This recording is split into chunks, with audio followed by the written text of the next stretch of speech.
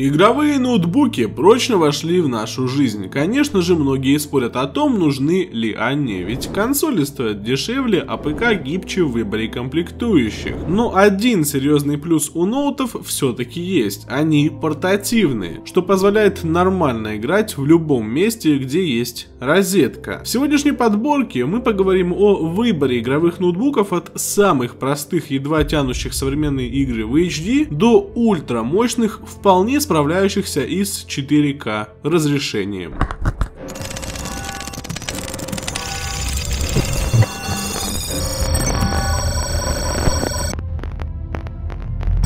Начнем мы, естественно, с базового варианта. И это игровые ноутбуки от 30 до 40 тысяч рублей. За эти деньги максимум это 4-ядерный Core i5 8250U, 6 гигов оперативки и видеокарта Nvidia MX 150, которая является полным аналогом GT 1030. Так что, естественно, ждать от нее многого не стоит. Хотя тут же тяжелый Assassin's Creed Odyssey вполне вполне играбелен на MX 150 при HD разрешении. В районе 40 стабильных кадров мы получаем железно, и это в принципе неплохо. Конечно, многие скажут, что это совершенно не дело, и играть в HD на минимальных настройках как-то не камильфо, ведь за эти же деньги можно собрать ПК для комфортной игры даже при Full HD. Или же, например, взять вполне себе хорошую консоль. Но, как я уже и говорил, ноутбуки берут мобильность полностью. Более простые проекты типа GTA 5 неплохо идут на средних настройках в Full HD, а мультиплеерные игрушки типа Dota 2 или же CSGO вовсе способны порадовать нас сотней кадров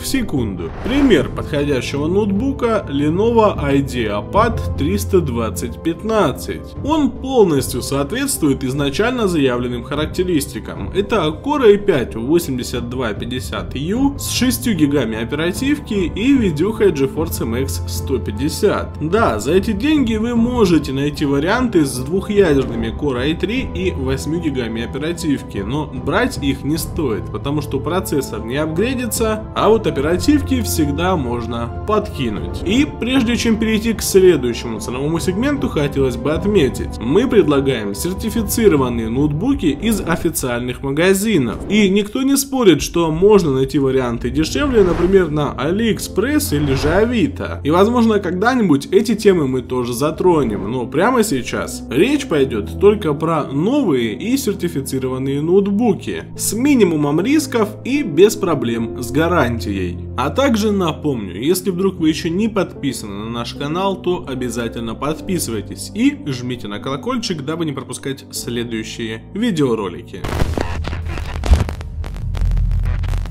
Теперь можно выбрать базовый игровой ноутбук в ценовом промежутке от 50 до 60 тысяч рублей. И за эти деньги лучший выбор это 4-ядерный Core i5 8300H, 8 гигов оперативной памяти и GTX 1050 Ti. Однако, если хочется сэкономить, можно взять более простой Core i5 7300HQ без поддержки гиперпоточности и с обычной 10 1050 без TI. В целом, обе конфигурации способны обеспечить плавную игру при Full HD разрешении как минимум на средних настройках графики. Даже в тяжелом и не оптимизированном Assassin's Creed Odyssey, который мы сегодня и будем использовать как мерило производительности, на 1050 Ti вполне можно играть даже на высоких настройках графики. Разумеется, обычная 1050 будет слабее процентов на 15-20, но все еще еще на средних настройках поиграть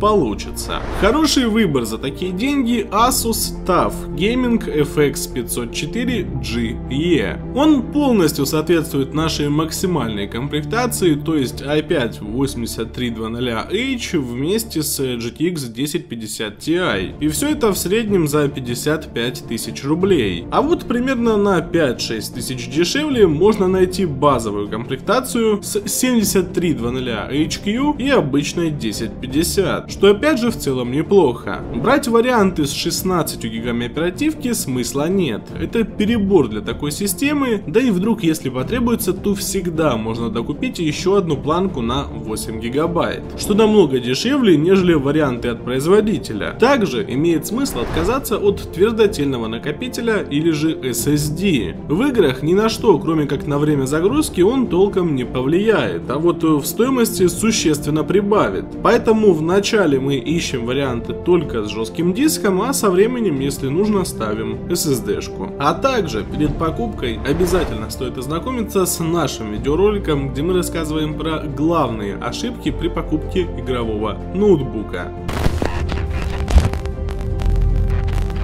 Далее идет сегмент среднеуровневых игровых ноутбуков, стоимость которых начинается от 65 тысяч рублей и заканчивается на 100. В долларах это выглядит понятней, от штуки до полторушки. Как вы видите, разброс в цене достаточно большой, целых 35 тысяч рублей или же 500 долларов. Обусловлено это большим разнообразием процессоров, объемов оперативной памяти, накопителей и разрешения экранов, но находится все в одном сегменте, потому что видеокарта здесь по сути одна. Это GTX 1060 с тремя или же 6 гигабайтами видеопамяти. То есть сегмент вроде бы один, а вот набор комплектующих разный. Но при этом в играх вы получите почти одно и то же. Оптимальный выбор процессора это 4-ядерный, 8-поточный Core i5 8300H или же Core i7 7700HQ.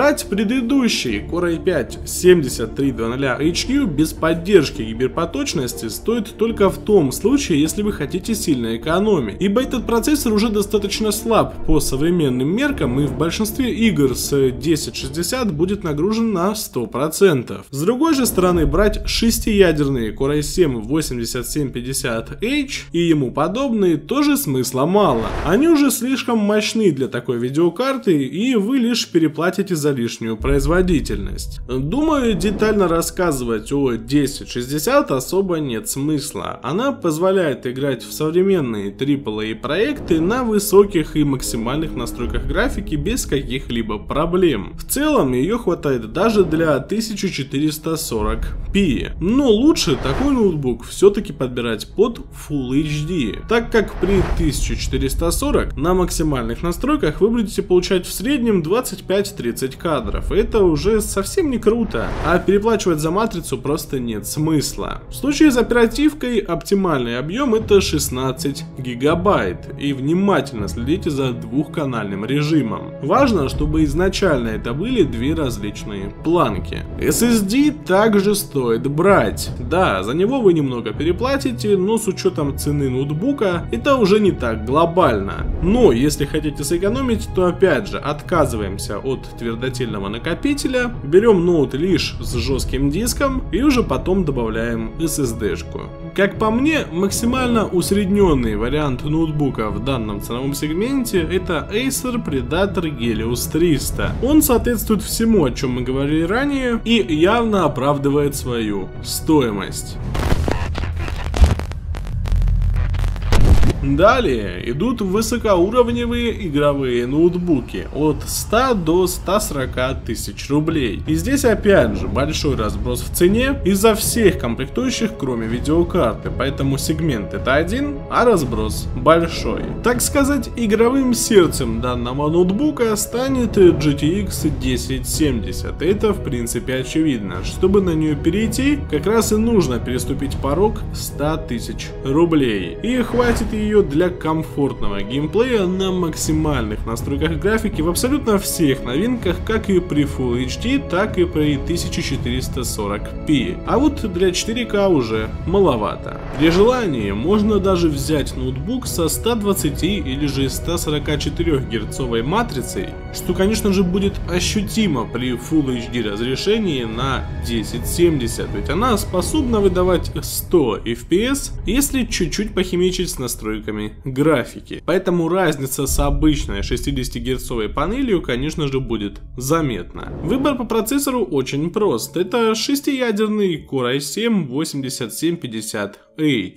Все-таки четырехъядерных решений уже маловато для такой графики. И поэтому нужно акцентировать свое внимание на шестиядерных процессах, желательно еще и с возможностью разгона. С оперативкой все в принципе просто, примерно так же, как и в прошлом варианте. И от SSD тоже отказываться уже смысла нет, ведь вы собираетесь потратить 2000 долларов на ноутбук. Очень неплохой вариант это MSI GT63 Titan 8RF, полностью соответствующим всем нашим планам ноутбук за 122 тысячи рублей.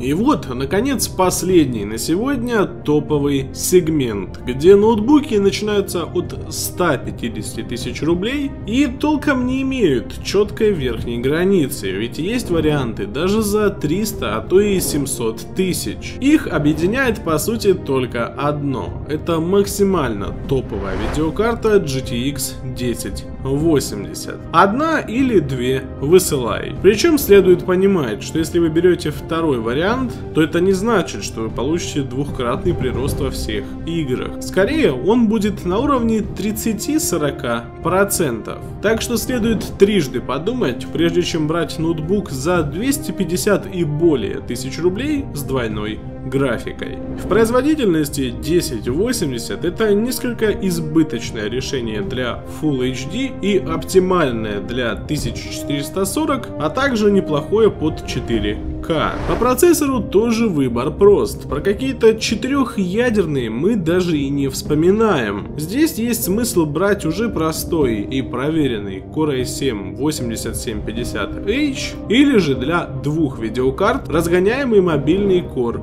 i9. С оперативкой все те же 16 гигабайт, однако тут работает уже обратное правило в стиле горшочек не вари. Производители зачем-то добавляют 32 или даже 64 гигабайта оперативки, которые абсолютно не нужны для игр и переплачивать за них не стоит. С SSD-шкой тоже все более чем понятно. В принципе нет смысла смотреть на варианты более чем на 256 гигабайт. И в таком случае хороший вариант это MSI GT63 Titan 8RG. Его стоимость в районе 152 тысяч рублей и это можно сказать идеальный вариант в данном ценовом сегменте. В итоге, как видите, игровой ноутбук есть на любой вкус и кошелек, от самых мультимедийных решений за 30-40 тысяч тысяч рублей вплоть до игровых монстров за 150-200 тысяч. Удачи вам в выборе, всем спасибо и пока.